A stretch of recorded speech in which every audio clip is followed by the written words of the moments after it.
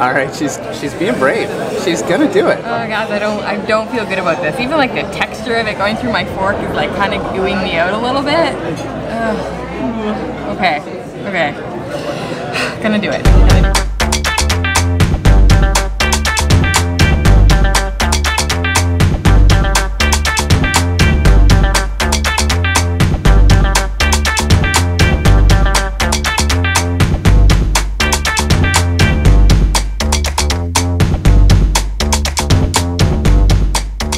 Welcome to Peru, everybody. We are in a new city today, Lima, and a new country, of course, and we couldn't be more excited. But first, if you happen to be new around here, I am Trevor, and this is Anna. We are the Delightful Travelers. Make sure to hit subscribe and the little bell to follow along in our adventures. So we're currently in a park, I think it's called Park Kennedy. It's right in the center of Miraflores, which is the area we're staying in. So we have a few dishes in mind today. Hopefully we can find them. Uh, we'll, we'll see.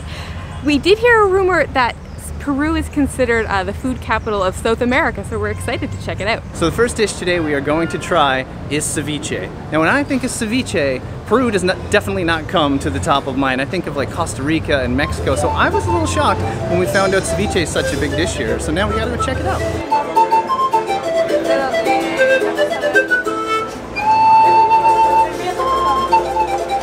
Alright, so if you guys follow us regularly, you probably know that I'm not a big fish eater, like at all. I don't like seafood. I don't particularly like fish, so you're probably wondering what on earth we're doing here. It is one of the things you have to try while you're here. And in the past, I've actually liked ceviche. It's kind of the only fish I've enjoyed. It doesn't have a fishy taste at all, at least the ones we've had in Mexico before, so I'm hoping today will be the same, but we'll see. For those of you that are not familiar with ceviche, it's typically made with fish, whitefish, or seafood. We got it with the fish option.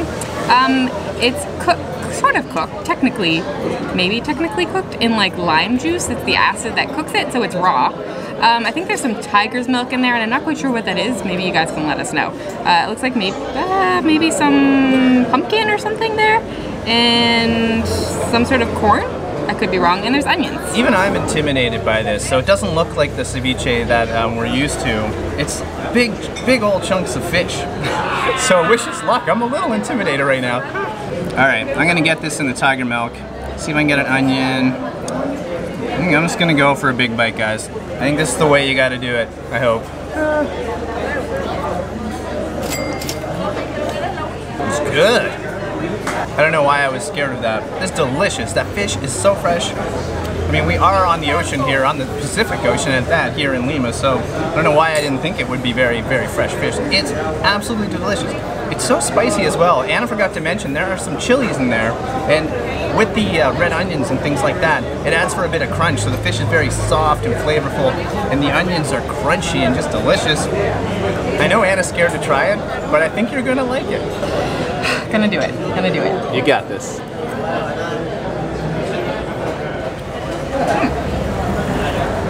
Texture is really, really soft, so it took me a minute to like figure it out, but there's nothing chewy about it. It just kind of falls apart as you start to chew it.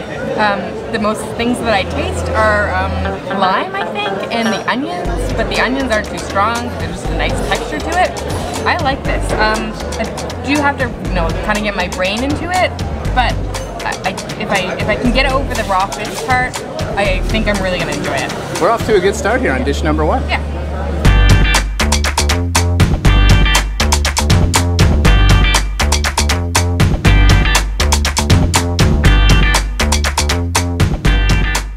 So you don't see that one too often. Anna trying fish on camera. Or off camera for that matter. For the YouTubes. But I make sacrifices for you guys. It's all for you.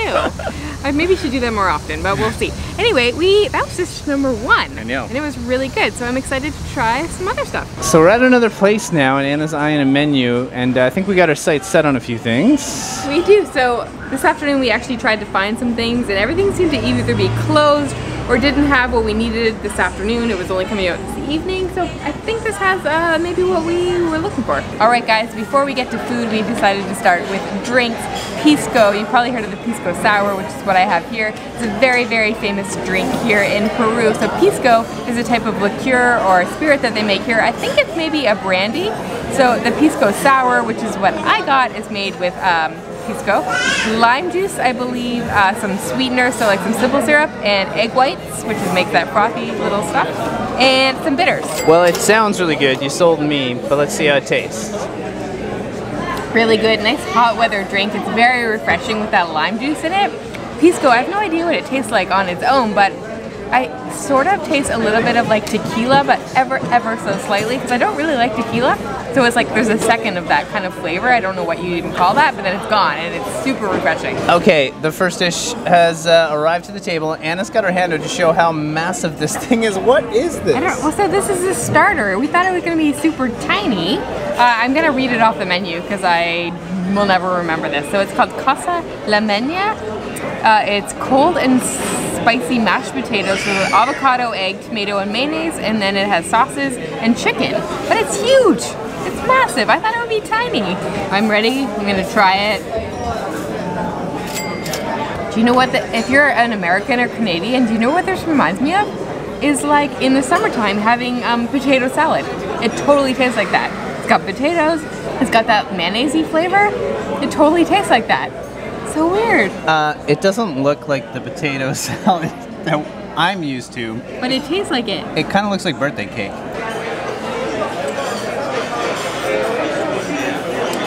Okay, I got a dish that's incredibly popular here in Peru. It's called anticuchos, I believe. Um, it looks like steak, but it's not steak at all. This is cow heart. I'm very nervous about this dish. so far today, I've been very nervous about all the dishes. I'm hoping it tastes like the steak I know and love, but um, I've never had cow heart, not even once.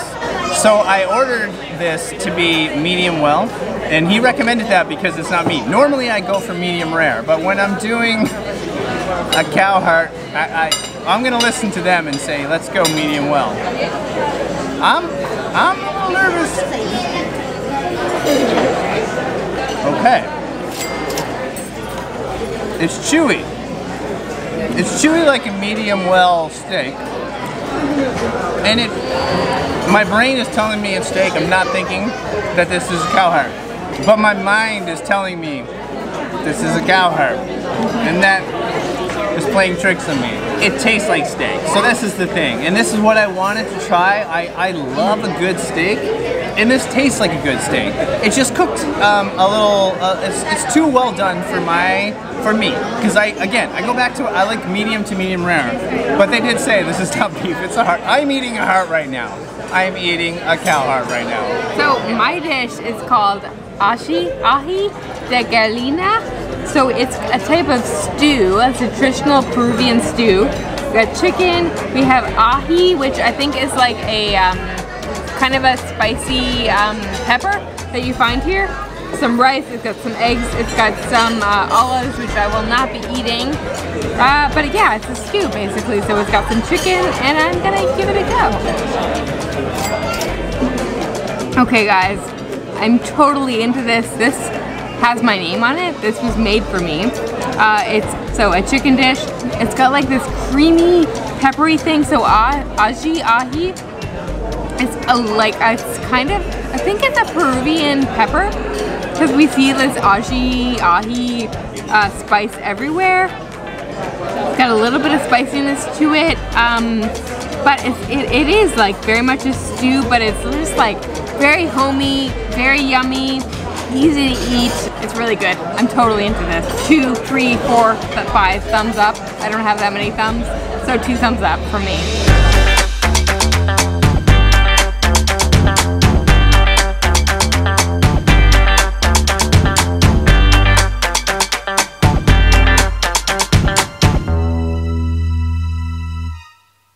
Alright guys, that was really, really delicious. However, we've been in some fairly inexpensive places such as Colombia.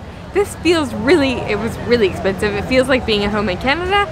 Um, so we paid a boat, I feel like it came to like 90 Canadian dollars for that, which is really expensive. We're in Miraflores. Yes. So maybe it's just the area we're in or is it just Lima? Is Lima that expensive? Guys, I'd love if you're from here to let us know. Or did we just pay a whole lot of money for that or is that typical for this area?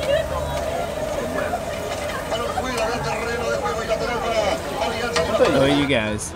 Look at these things. They look like onion rings, but they're not at all. All right, guys, success. We got our picharones or picharones, whatever they're called. Um, so they're actually deep fried and they're made out of like either like sweet potato or squash or something like that. They actually smell like pumpkin pie to me. So they smell like Thanksgiving, but they're like deep fried. They look like onion rings and they smell like pumpkin pie. Pumpkin pie onion rings. Explain that to me. Sounds like something we're gonna like.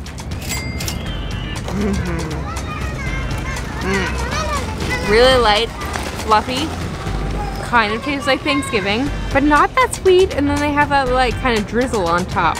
Hmm, I'm fascinated. Okay, my turn, and I'm so excited. In my mind, just like the uh, cow heart, I expect an onion ring taste. Oh, it's caramelly. Like it tastes a lot like caramel. It's buttery. There's like a hint of a churro. Did you find that? I feel I find there's like a little bit of a churro going on, like a Mexican churro. It's really good, but it's it's the flavor isn't like full force. It's like a little bit of cinnamon, a little bit of that churro taste. It's it's slightly donut and slightly caramelly. It's almost like they're afraid to put like full on flavor into it, but I do like them. But I'm not gonna lie, I would like if there was a little more flavor into these, but they're pretty good and they're a very good way to end this incredible day of Peruvian food.